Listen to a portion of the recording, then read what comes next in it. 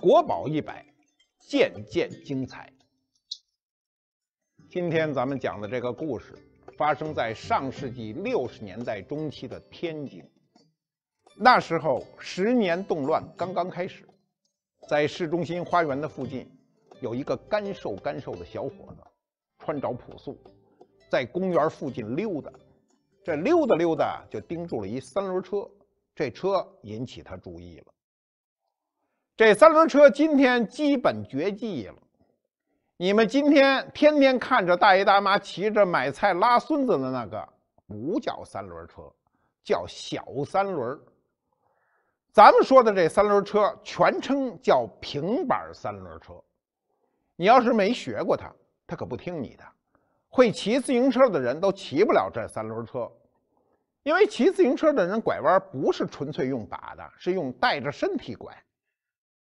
但这三轮车必须用车把拐，因为平板三轮车是中国五十年代到八十年代中国大街小巷的主要运输工具。那时候居民搬家基本上靠这种三轮车，没人雇得起汽车。我过去许多著名的家具，都是三轮车上买的，或者三轮拉回来的。有套紫檀家具就是三轮车上买的，那时北京。对骑三轮的有一个称谓，叫做“板儿爷”，说的就是蹬平板三轮车的人。我过去认识好多骑三轮车的啊，都说自己是搞收藏的，其实一开始就是搞运输的。一个三轮车有没什么好看的，尤其天津这三轮更不好看，因为天津这三轮是倒着骑的，板在前头，人在后头骑啊，车上的东西肯定丢不了。还有一好处是，你要坐这三轮上，方便跟你聊天儿。天津人能侃都是这么来的。可这三轮车有什么好看的呢？因为这三轮上有一车书画。这小伙子是谁呢？他叫刘光启，在天津书画界，这名字大多数人都知道。有人称他刘半尺啊，意思就是书画打开半尺，真伪立判。著名的书画鉴定大家徐邦达先生也有“徐半尺”之称啊，只要是鉴定书画的都可以叫半尺。但我告诉你啊，百分之九十九的画半尺就知真假，甚至不需要打开就知道真假啊！你一看那装裱就知道了。好画啊，往外一掏，两头紫檀大轴啊，那画准差不了。一般好画，它的装裱材料就好。对鉴定专业来说啊，真正的难是鉴定那百分之一，全打开都很难判断。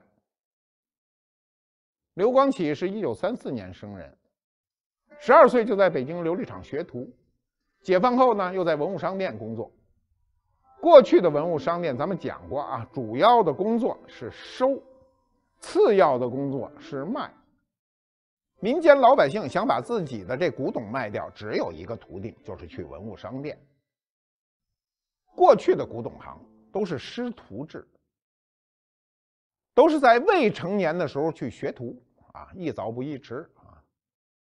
一般头三年端茶倒水，看师傅怎么接待客人，然后学成以后呢，跟着师傅干，干到自己感觉能独当一面了，提前跟师傅打招呼。说师傅啊，我再给您干两年，我就得走人了，不能说我说走就走，啊，招呼都不打，没这事儿。比如说故宫博物院的孙迎洲先生，早年是在琉璃厂啊做买卖的，他带了两位弟子，一位叫赵家章，一位叫耿宝昌，都是学徒的嘛。文物进出只有文物商店的这一个途径，都得从这儿走，所以你看见好东西的机会就多。那时候专业也分得清楚，搞字画的就不搞瓷杂了，所以刘光启肯定是积累了很多的丰富的字画经验。这天他盯着这车字画，凭感觉就知道这里有好东西。正好，这蹬三轮的呢累了啊，停下来歇着。刘光启上去呢就搭讪说：“您歇会儿啊。”刘光启问这蹬三轮的人：“这不是明知故问吗？”人家也不会理他呀。我们跟陌生人搭讪，第一呢，姿态要低，不能说你是个鉴定家，人家是个蹬三轮的，你就说嘿，你干什么呢？那这样谁还理你啊？就得说，哎呦，师傅您上哪儿去？得问这种不疼不痒的话，啊，不能往深了问。你往深了问，你说，哎，师傅您这东西准备拉哪儿去？那就不行了啊。套词啊，最大的套路就是，哎，咱俩好像见过啊，这套路啊，今天不好用了。我这儿有一现成的说法教给你啊，换一种说法，叫咱俩见过吗？把话丢给对方啊，人家说没见过，说那这次不就是见着了吗？哎，这是一种套词的方法。但其实刘光启一直盯着是三轮车上的一个蓝布画套，这好画啊都有一个画套，就跟好剑似的，好剑都有剑套嘛。这画套上面的签儿写着。雪景寒林图，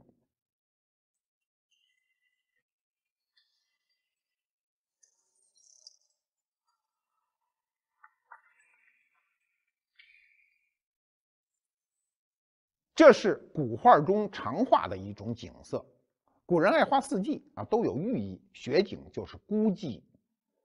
蹬三轮的也不理他，人家一脚一蹬就走了。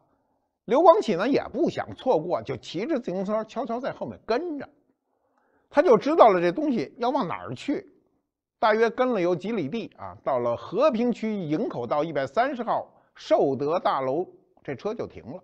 一打听，那是当时的天津财政局仓库。你一听啊，这地儿就重要嘛，放这东西就保险。这刘光启呢就高兴坏了，他觉得。那可能是从张家查抄出来的东西，这东西到了财政局仓库，就算没丢。刘光启怎么凭一个画套就知道这是张家的收藏呢？这事儿神了？这事儿不神。过去大收藏家的包装都是统一的，都是自己家请专人来做。比如过去上海龚新钊所有的收藏的包装都是他家里做的。是特意选料，特意找人，特意设计风格，明白人一看包装就知道是他们家东西。他们家包装上的签儿都是一个人写的，统一的小楷。那这张先生又是谁呢？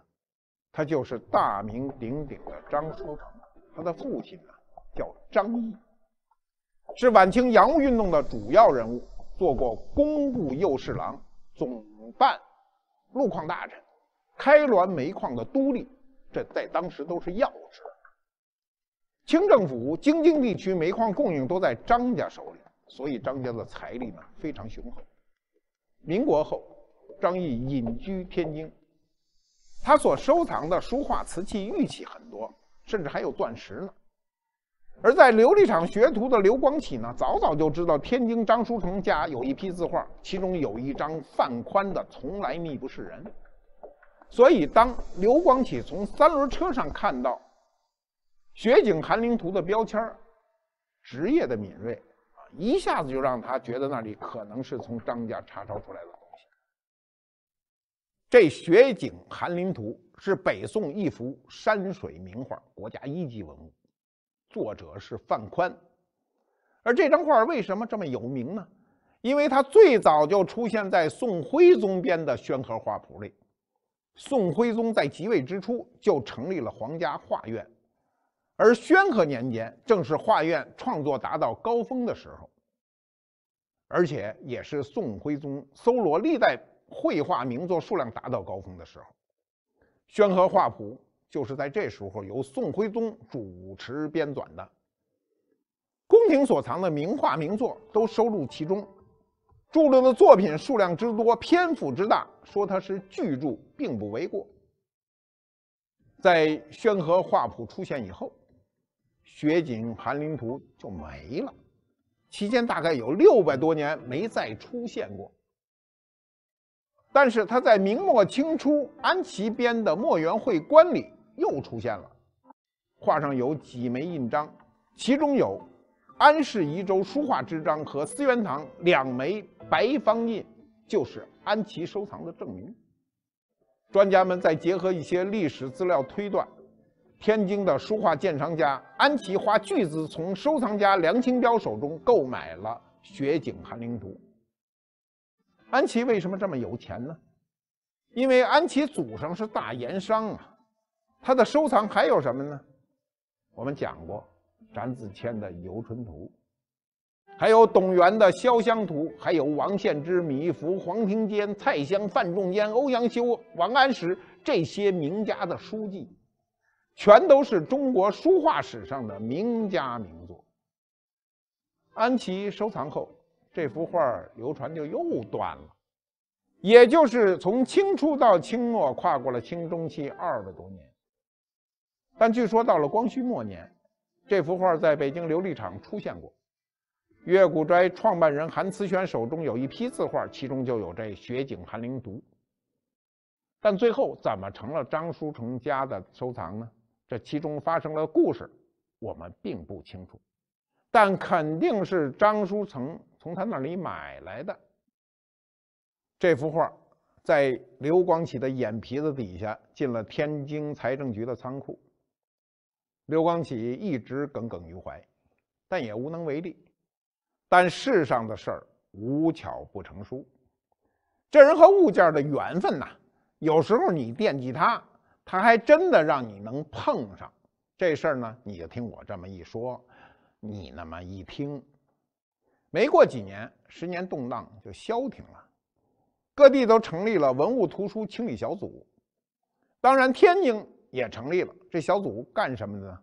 就是把查抄来的这些劫后余生的文物重新整理，做档案。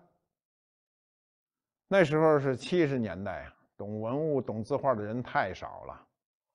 于是，在文物商店工作的刘光启就被调到了清理小组。他们当时的工作地点呢，在和平区大理道四十八号，是一栋洋楼，工作人员有十几个。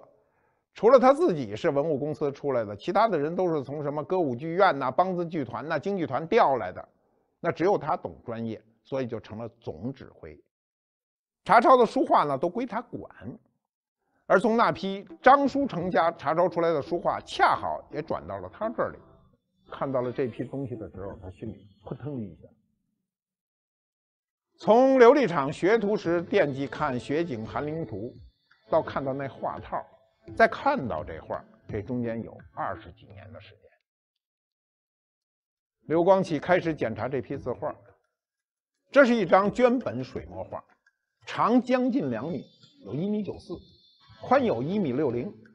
咱们开头说过，这雪景应该是很孤寂。开卷最显眼的就是一座落了厚厚雪的山峰。画面的最后方是一片连绵起伏的雪山。画的左边，能看见山腰处还有一座寺庙，围绕寺庙飘着淡淡的雾气。再看看画的右方，翻卷着云雾从天上由隐而显，由虚而实，飘到谷底。这就是典型的北方山水，有范宽山水画的典型特征：高险气魄大。范宽也是北方人嘛。陕西华原人，就是今天的陕西耀县。对他的生卒呢，没有什么记录，主要活动时间应该是北宋早期。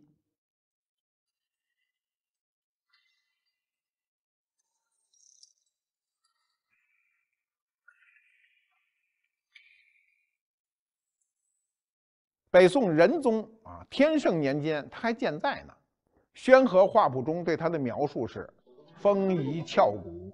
禁止书也，性嗜酒，落魄不拘世故，可知他的个性狂妄不羁，也不去争仕途的热闹，也没有去考画院。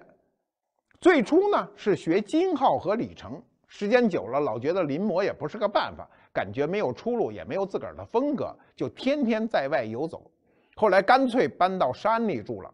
传说他在山里一坐就是一整天，盯着山看。外面下雪了也不回来，研究雪景；有月亮的话就琢磨夜景，整日就观察山水景致的变化。范宽就这么逐渐成为一家。在北宋时，他的画已经很出名了，《宣和画谱》注录的宫廷收藏他的作品就有五十八件。这幅《雪景寒林图》是大陆收藏范宽的唯一一件作品。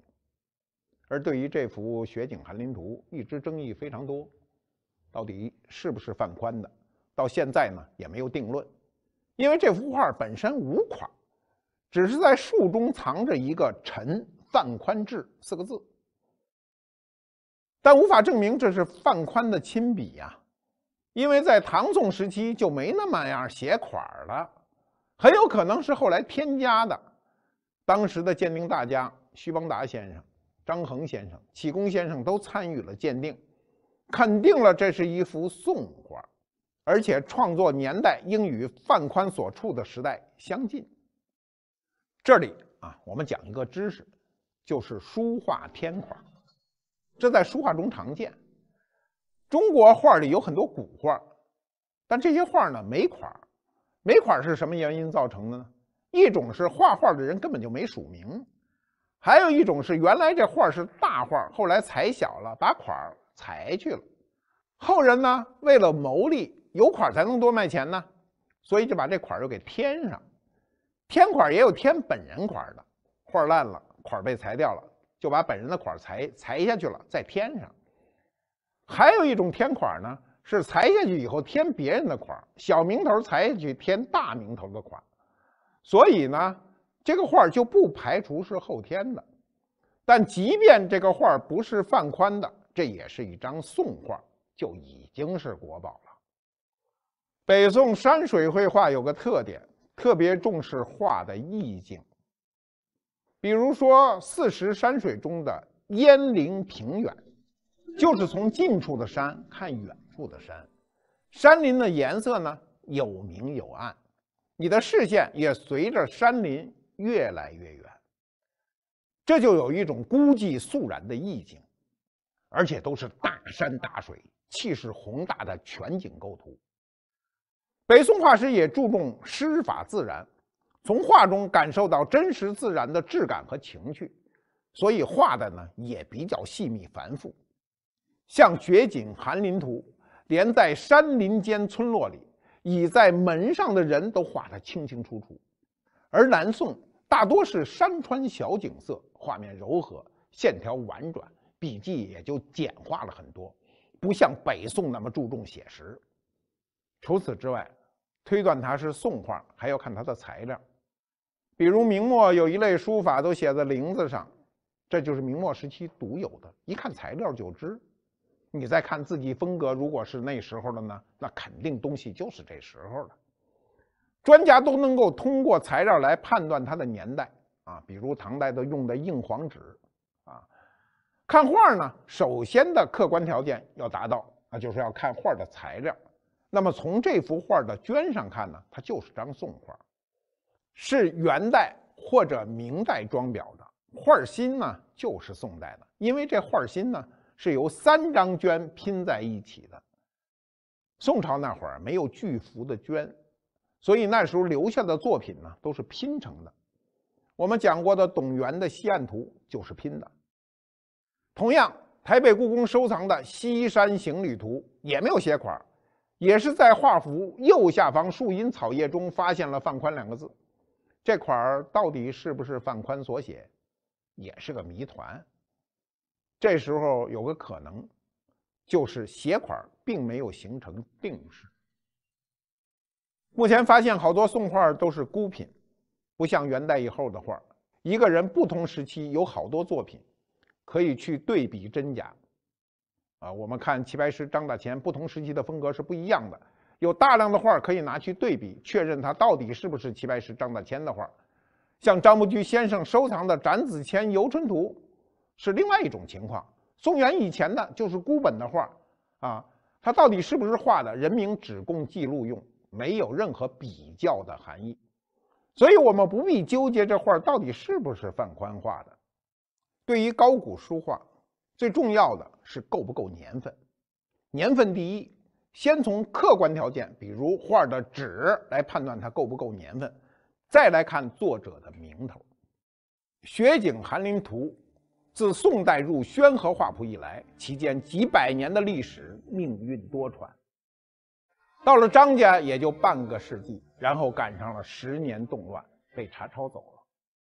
当时张家也不知道这画的下落。就四处打听，听说刘光启是文物清理小组的组长，张家就托人找到了刘光启。